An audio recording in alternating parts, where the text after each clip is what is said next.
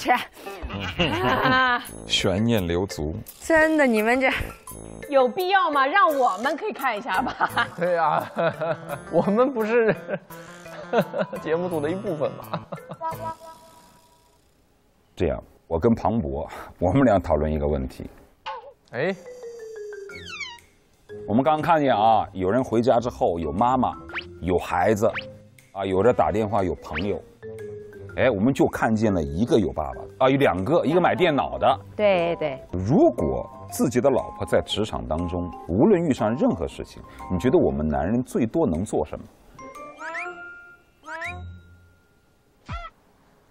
我觉得，我觉得最多其实是能做很多的，就是你可以像他，你看，你就这么老实，这么难的问题，让秃鹰老师先给你打个样儿啊！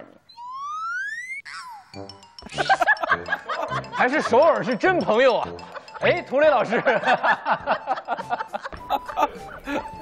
没有没有，我们就认真回答一下，真的能做很多。你就像亮亮的老公一样，比如说接他去，在很重要的场合，你可以接他送他，嗯，因为这个刚出来的这一下，他是很想跟人分享当下的感受的。对，是的，然后也可以像金金的老公，对不对？给他比如买礼物啊什么之类的。其实，一个男人是不是真真正正的支持一个女人在职场当中展现自己的价值，是衡量这个男人爱不爱这个女人很重要的一个标志。